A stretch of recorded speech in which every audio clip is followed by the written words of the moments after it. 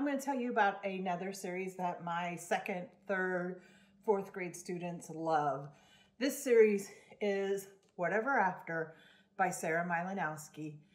The first book in the series is The Fairest of All, and all of these are available on Hoopla as audiobooks.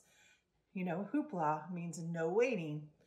Um, so in these series, uh, the main character's name is Abby. She's recently moved to a new town, a new house, and at their new house, she and her brother discover a mirror, a strange mirror that makes noises and does some other odd things. Well, come to find out, that mirror is magic. And Abby and her brother um, go back to fairy tales.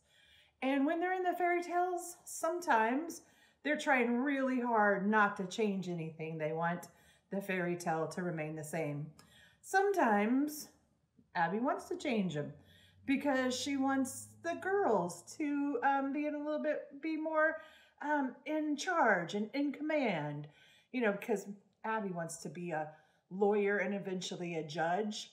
So she's a, a feisty little character and she's fun to read. If you haven't read these, whatever after, give them a try. You won't regret it. Happy reading.